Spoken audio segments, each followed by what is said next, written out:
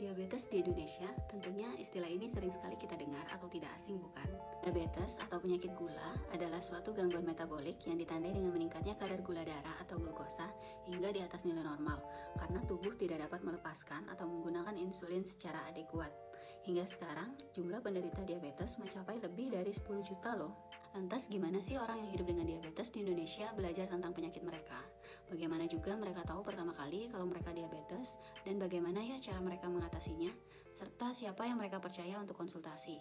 Dengan memahami situasi ini, kita bisa memberikan konsultasi dengan lebih komprehensif. Kita simak satu studi kualitatif menarik berikut yuk.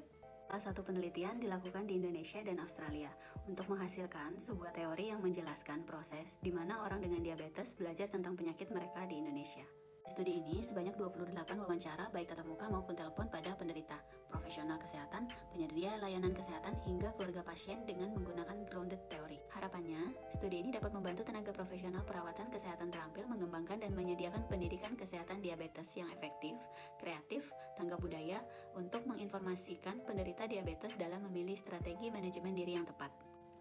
Studi ini mengungkap teori yang berjudul Learning, Choose, and Acting Self-Management of Diabetes in Indonesia, yakni berupa belajar, memilih, dan bertindak.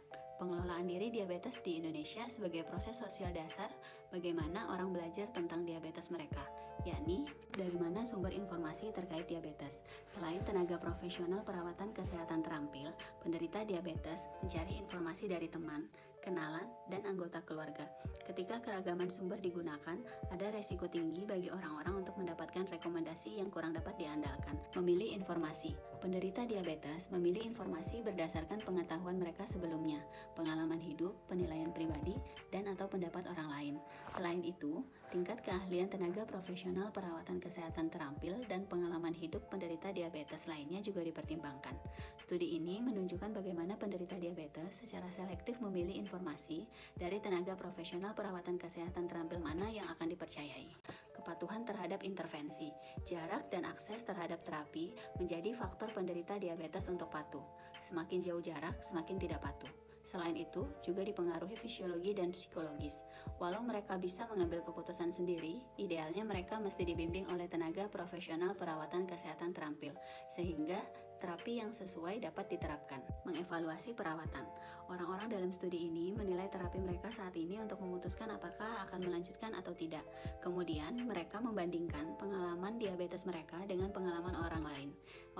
Itu, disarankan agar tenaga profesional perawatan kesehatan terampil terlibat sejak awal untuk mendiskusikan pemahaman dan pengelolaan diabetes mereka dan kesulitan yang mereka hadapi dalam mengikuti rekomendasi pengobatan. Berbagi pengalaman, penderita diabetes berbagi dengan orang yang mereka percaya untuk mendapat tanggapan termasuk tenaga profesional atau tenaga kesehatan. Nah, begitulah faktor yang mempengaruhi bagaimana penderita diabetes belajar dan bertindak. Faktor ini sangat berguna bagi tenaga profesional dalam ini tenaga kesehatan, seperti dietitian dan nutrisionis untuk menjadi pertimbangan dalam memberikan asuhan atau intervensi. Yuk kasih tanggapanmu untuk studi ini di kolom komentar ya. Terima kasih telah menonton.